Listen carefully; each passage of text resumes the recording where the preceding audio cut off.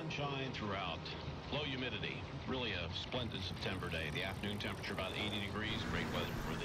My name is Kurt Sonnenfeld. For 10 years, I worked for several different agencies of the United States government, including the Federal Emergency Management Agency. In September of 2001, I was contracted to be the official videographer uh, following the attacks on Ground Zero of the World Trade Center. Because of the conclusions of what I saw and what I filmed, my life has been in danger for the past 10 years. Now, I live in Argentina as a political refugee. This is my story.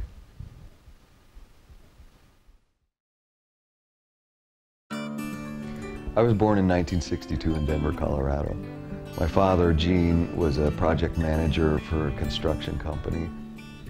I have a brother, Craig, and a sister, Dixie. Uh, my mother, Bonnie, uh, stayed at home with us and uh, raised us quite well. I had a very happy childhood. Uh, most of what I remember uh, was outside playing constantly, uh, going to the mountains, skiing, riding horses, um, typical Colorado activities. After I graduated from high school, I began to uh, attend the University of Colorado in uh, Boulder, Colorado. I studied uh, international relations with a minor in economics and uh, eventually uh, continued to uh, get another bachelor's degree in English with a writing concentration and a minor in philosophy. My career at FEMA began uh, the, the wife of the systems analyst of the economic journal where I worked had a job with FEMA and uh, her boss had mentioned to her that, uh, that they needed somebody who knew how to write, who knew how to produce television.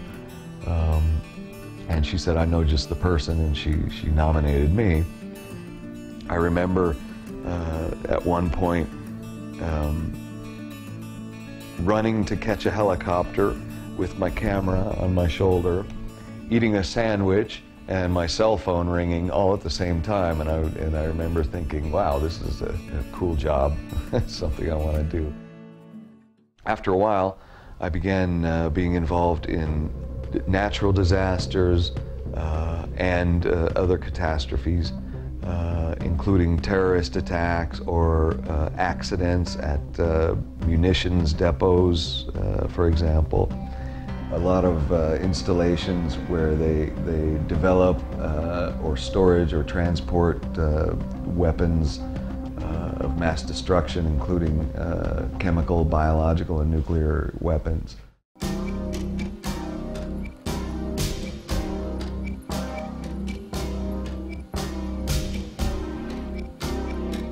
I've got videotape of uh, what's called ton containers full of VX gas.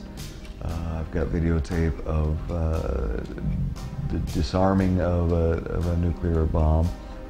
A lot of uh, situations that are uh, typically characterized as confidential or top secret.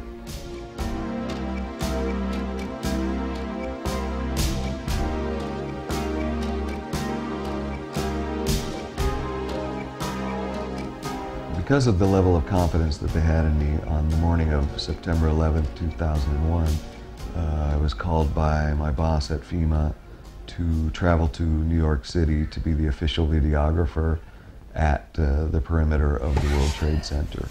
This is a box of some of my things from FEMA from my years responding to catastrophes and disasters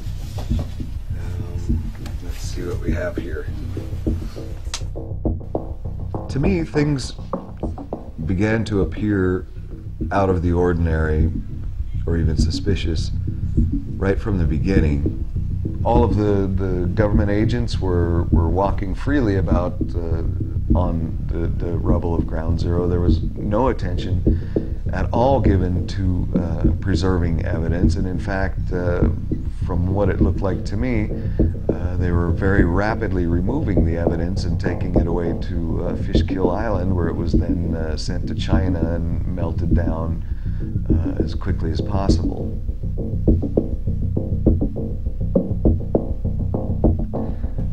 To me, the most suspicious thing of, of, of all of what happened on September 11th is uh, what happened to Building 7 of the World Trade Center. Uh, very few people know that, uh, that in fact, uh, three buildings collapsed. This building was not hit by any airplane, didn't have any structural damage as a result of any airplane, or much stru- structural damage as a result of the, uh, the Twin Towers falling. But amazingly enough, Building 7 fell in a perfect uh, textbook type implosion, taking only six and a half seconds for a 47 story building to fall completely into its own footprint.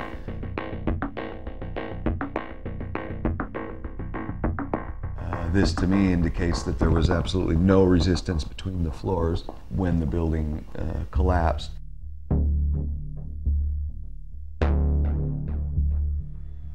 I was told um, that I needed to be on call 24 hours a day in case one of the black boxes uh, were discovered. The chances were good that uh, at least one would be found. However, these indestructible black boxes, uh, not even a, a, molecule was found. Uh, supposedly they were vaporized in the, in the collision. But uh, I have uh, footage of the seats of the airplane, landing gear, the rubber tires, aluminum fuselage. A lot of things that are uh, a lot more sensitive to heat and impact than a black box, and yet they uh, somehow uh, managed to survive the collision, whereas the black boxes, um, oddly enough, did not. One thing I am certain of is that uh, the agencies of intelligence of the United States of America knew what was going to happen and at least let it happen. And considering the unusual events around uh, WTC 7, uh, I'm at the point of concluding that uh, not only did they know it was going to happen, uh, that they in fact collaborated. Thanks for being here. Thank Appreciate you. it. Thanks.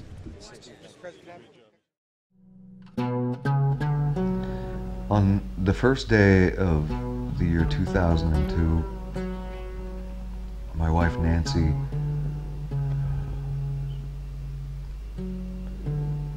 took the tragic decision to take her own life. Um, the police came, several of them jumped on top of me and began beating me.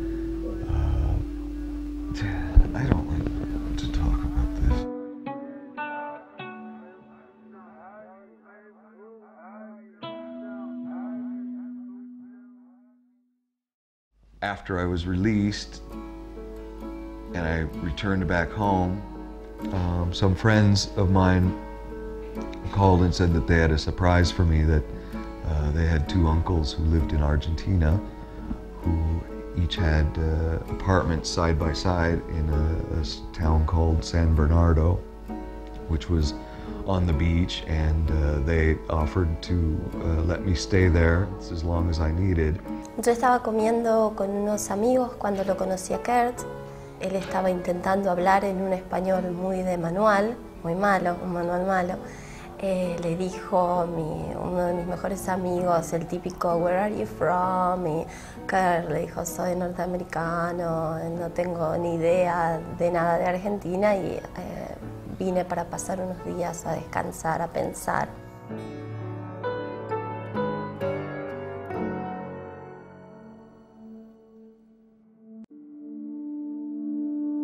September 11th was approaching, uh, we agreed to do one uh, television show and only not speak of anything controversial, just uh, speak about the heroism and, and, things like that, and just keep it uh, in memory of the victims. However, about uh, three days before I was to deliver the original footage, about 20 members of Interpol came charging me in front of my house threw me up against a wall, threw handcuffs on me, and, and uh, said that an airplane was waiting to take me back to the United States. They had with them a request from the embassy of Buenos Aires uh, to confiscate uh, all of my documents, all of my video footage, uh, and uh, to remit it immediately back to the United States with the fugitive.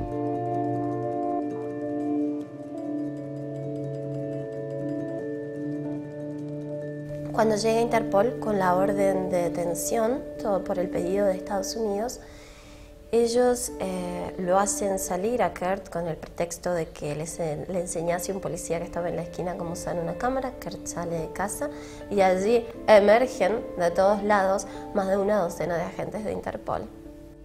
What had happened was they had revived the personal tragedy that I had suffered, the suicide of my first wife, Nancy. They used that as a tool to bring me back to the United States, where I was under their control.